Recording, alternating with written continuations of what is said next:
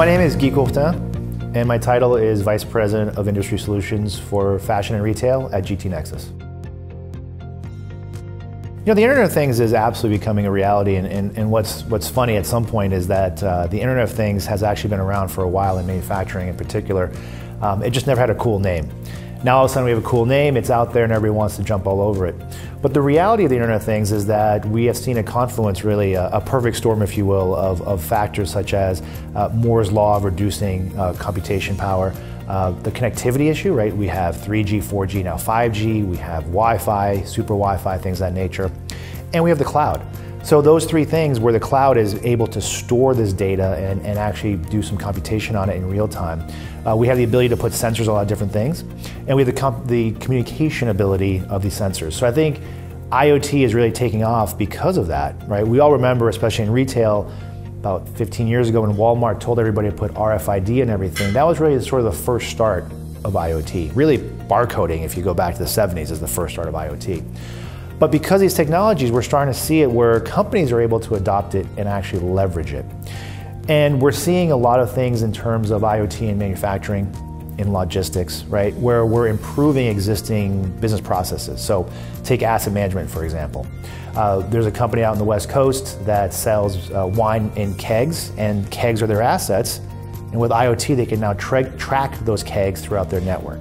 Right, we're seeing companies in logistics being able to track containers uh, through the ocean, through ports, things of that nature. We're seeing even hospitals being able to track their assets within the hospital itself and be able to understand much better where are their assets. So these are things that we've already been doing. IoT is just making them more efficient. Right? We also know a lot about the IoT when it comes to predictive maintenance. For example, GE, you know, one of the famous IoT sort of uh, champions out there, uh, is putting sensors on their locomotives, on their wind turbines, on their airplane engines, and the amount of data that's being thrown off, they're able to anticipate when a break is going to happen. Right, for example, even like Caterpillar does this, where they know uh, they have a, a, a uh, dump truck in the jungles of Burma, and they can monitor it and understand, hey, this is overheating a little bit ahead of time, so to speak. Maybe we have a problem. We can anticipate it. We can dispatch product and technician ahead of time. So these are the business cases we're seeing today, the near-term business cases for IoT. I think what's exciting about it is where does this go in the future, right? How does this lay down the groundwork for some future uh, interesting things with IoT and with the data that's coming off of it.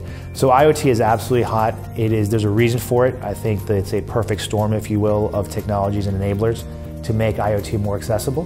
Uh, now we're just trying to figure out what are the business cases, right? The near-term ones are very much around things like asset management, predictive maintenance, uh, inventory tracking. Uh, what's exciting is what does this lead to down the road?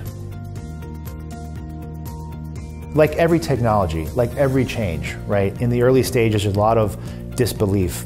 There's a lot of questioning because there's going to be some failures, right? I take the example of websites, right? If you look back in the early 90s or late 90s when, when the internet exploded and everybody had to have a website, um, you know, there was a false, false hope that everything was going to be conducted through the web, right? And that we're going to do all kinds of e-commerce or CRM, all this through the web. And a lot of companies came and went, and we know the dot-com bust, right? We saw that happen. And a lot of people at the time said, well, this is no longer what it holds out to be. This internet thing is, is a fad, if you will, right? You know, I remember a joke that uh, B2C and B2B became back to consulting, back to banking, right? Because again, it was felt like this is not, you know, the hype has been oh, way overblown. Fast forward to today, and I would say the internet is absolutely, and the web is absolutely an integral part to all our businesses, whether it's B2B, B2C, whatever it is.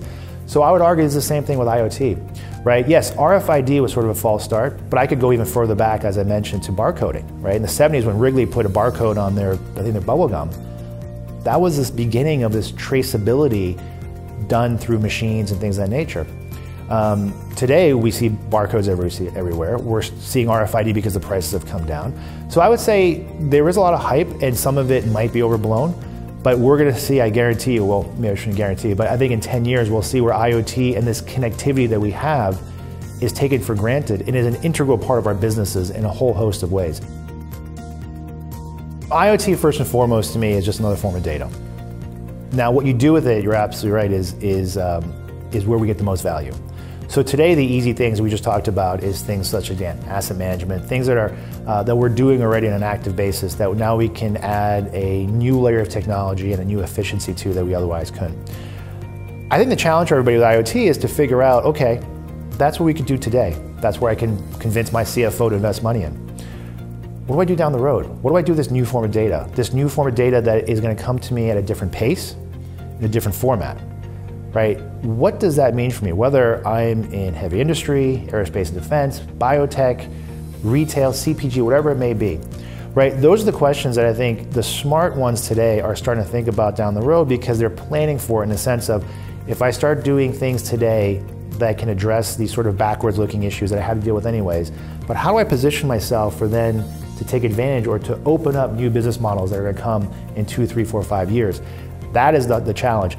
And I wish I had the answers, and, and if, if I did, I would write a book and make lots of money off it. But I think there's opportunities for the smart companies out there to open their minds up to say, hey, if and when I get access to this kind of information, and if and when I can also then layer on top of it some smart analytics and some smart insights and glean from it some actionable items, what can I do with it? Can I perform different things for my customers? Can I service them better?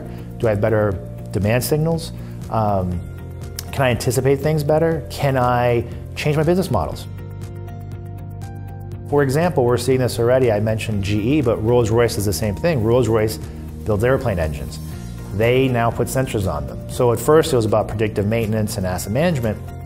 They're now able to change their business models in terms of, of charging, right? So they don't sell British Airway an airplane engine, they sell you the thrust, right? So you're paying, G, you're paying, sorry, Rolls Royce for the thrust.